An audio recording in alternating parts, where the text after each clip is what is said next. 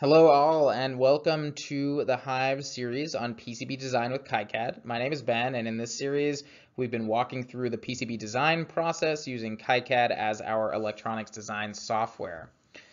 Videos 1, or really 0, but 1 through 5C went through the design process all the way through from conceptualization and parts selection all the way through till um, uh, layout and Gerber generation, making a PCB ready for fabrication. Um, in uh, videos 6 and 7a, 7b, and 7c, we've been talking about library management and how to create a project-specific library um, for your designs. This is highly advantageous and preferred when using KiCad to insulate your designs and your footprints and your models from external changes that might happen if you upgrade your software or something like that. Um, I didn't do that in the regular design, in the first design flow, just due to simplicity and time constraints. Part six went through a project specific symbol library, and in part seven and A, we developed, we made the custom uh, library and then added a custom footprint using the blank slate method and discovered how difficult and annoying that was and just imported the battery symbol directly. In this video, we're going to be using the wizard. I'm going to show you the wizard to make a footprint for our IC and then decide never to repeat it again if at all possible.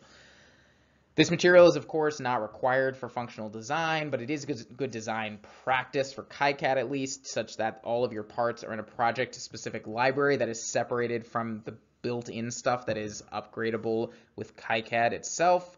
Um, and because this design, this is not directly related to the design flow of a lot of the previous videos, I'm going to make no assumptions about the state of your system or knowledge other than the fact that you've watched, hopefully, part 7a. Um, so I apologize if some of this is rep repetition for some of you. But without further ado, let's get started. So as a review, this is where we left the last video with seven of the eight required footprints in our project-specific library. Obviously, this battery holder was downloaded, not made by me. So if you saved a, your personal copy rather than one you downloaded, first, kudos to you. But also second, it'll obviously look different unless you spend a, a, your precious time making this, in which case your employer will not be happy. But I digress. So finally, on to the IC. ICs can either are usually either in a standard package with a known footprint or based off of a standard package but you always need to confirm the standard, this, sorry, the supplier provided package with the datasheet. It's really important to do this. You're going to be really sad later if you assume it's a standard package and it's not. KiCad has a large selection of standard footprints that should work, so the first place to check for a footprint is actually in KiCad itself with the filter box in the footprint editor. Filter for the part number and the package number, package name. If you filtered for TSOT-23-6, congratulations, you found the part. You could copy this into the library and be done, after confirming the sizing and spacing, of course, but that would sort of defeat the purpose of this video. If we didn't find the correct package, or you found one that might have been correct but wasn't quite correct, um, we would next search online, either from your supplier, the manufacturer, Ultra Librarian, or SnapMagic, or whatever preferred service you use. Then it could be imported like we demonstrated with the battery holder by right-clicking on the library and going input import footprint. If not, we can just request and wait and then import it later once they've made it. The last recourse is to make it, as we saw uh, with the battery holder. But of course, because this is a tutorial about KiCad, we're going to do that. So recall that there are actually two options for making footprints in KiCad. Um, the one on the left is the completely from scratch blank sheet of paper. It's good for distinctly non-standard components like battery holders. The one on the right is the wizard. It's much better, assuming your footprint is standard or nearly standard. In this case, since our IC is theoretically a standard or nearly a standard, we're going to open the wizard. So it gives you a bunch of different wizards. So you want to select the wizard that is not the footprint, the wizard that is closest to what you need. The IC is a TSOT-23-6. That is the 6-pin variant of the TSOT-23 package, which is the thin variant of an SOT-23 package. You might scroll and realize, hey Ben, there's no one, there's no wizard for the SOT. And I'll say, well, there certainly isn't one called SOT and you'll look at me funny. And I'll tell you that SOT is a subset of the SO class packages, small outline, which are defined by rectangular bodies and external legs. And you'll continue to look at me funny And I'll tell you to select the SOIC generator, which is number 11, because SOIC stands for Small Outline Integrated Circuit, and that's the overarching family that includes the SOT type among many others. As an aside, package nomenclature is awful. Um, it's something you'll just get familiar with in uh, with design. There are just so many standards and so many variations, different like small variations between them. It's not clear. It can be very painful. The data sheets uh, mechanical drawings are really the one and only truth for the specific part's package size. So use a lot of caution when uh, assuming that your part is a standard package. Um, the best option is almost always to ask um, to get your parts uh, your part models generated by one of these services and have them sent to you. That way you can you're pretty confident in the fact that you've got the right thing rather than assuming that it's a general component.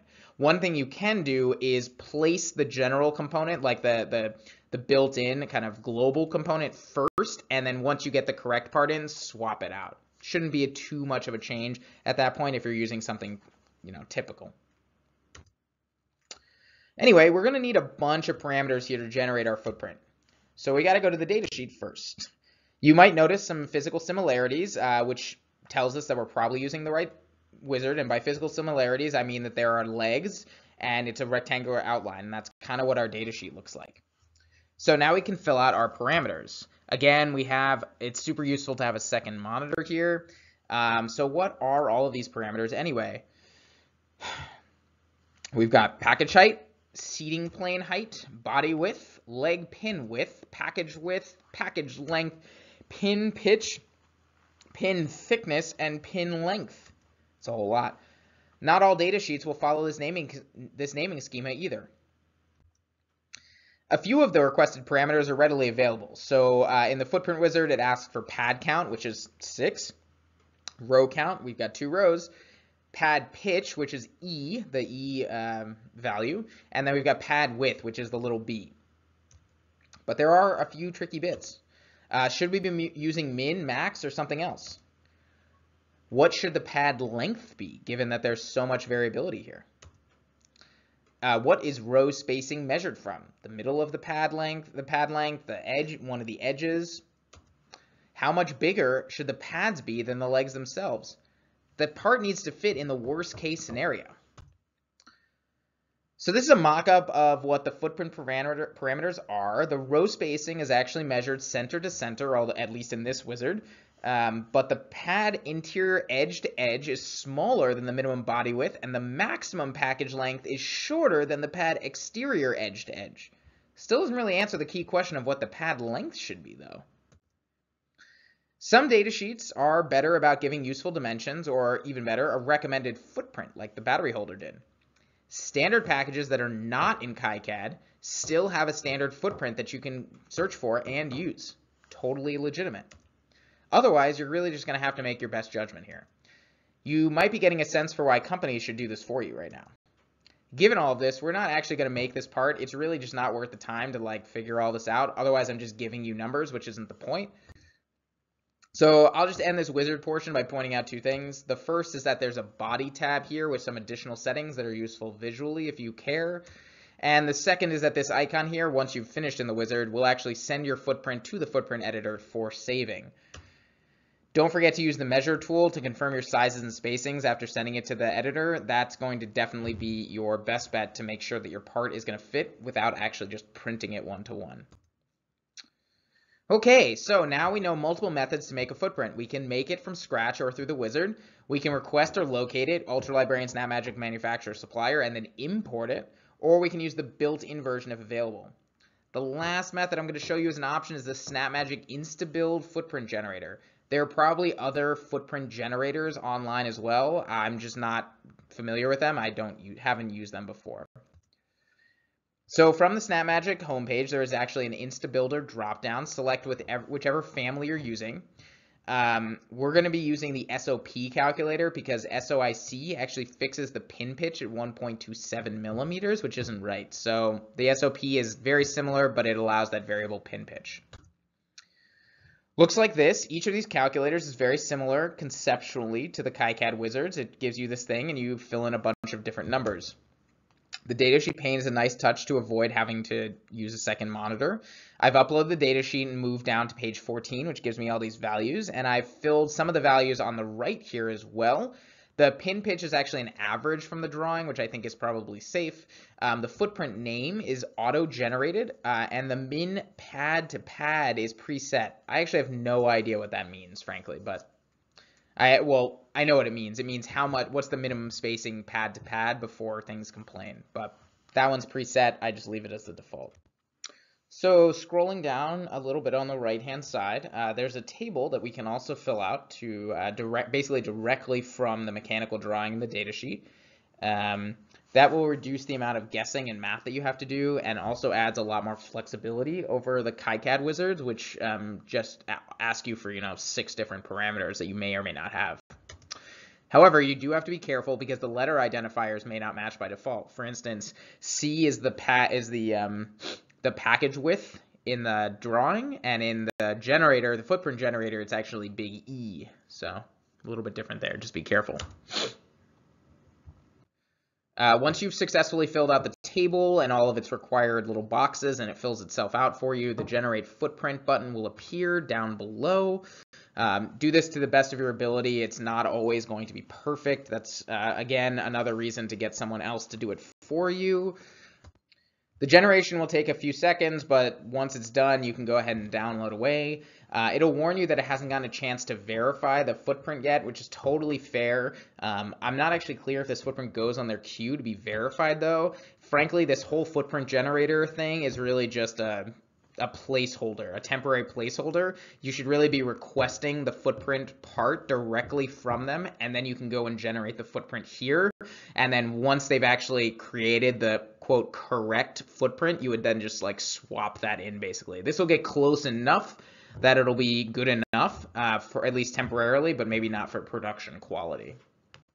So yeah, and once you've uh, downloaded it and then imported it back into KiCad, you'll see this is what it looks like. Uh, the pink is the mask layer. You can kind of see it around the red pads. Um, that's the mask layer, solder mask layer, which will define where the solder mask openings are on the board. Other parts also have those polygons, but they're just usually the same size as the copper pad, which um, then the copper pad takes visual priority, so uh, you don't see them typically.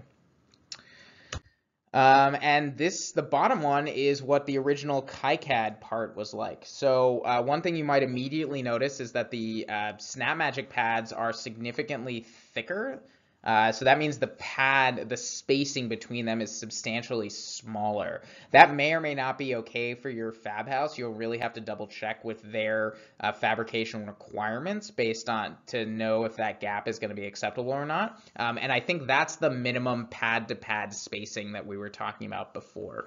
Um, you can see a little bit that they're, again, they're close, but not really quite the same. Would the would one of them work and one of them not work, you'd really have to put them on a board and print a one-to-one copy to actually find out. Hopefully the differences are small enough that it wouldn't matter and that, yeah, both of them would work. Um, the real thing is that pad spacing that we'd be concerned about. Either way, this is really a great example of kind of how error prone and variable this footprint generation process can be, even between very given the variation between data sheets. It's really critical to confirm your parts fit before sending your designs off for fab and that almost always means printing out a one-to-one scale copy and physically placing your components on top of your board to make sure that everything work everything is you know hunky-dory so to speak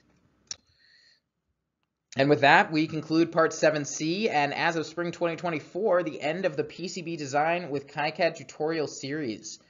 If you have further design questions and you're on the Georgia Tech campus, free, feel free to stop by the Hive during open hours, normally during the semester 11 to 6.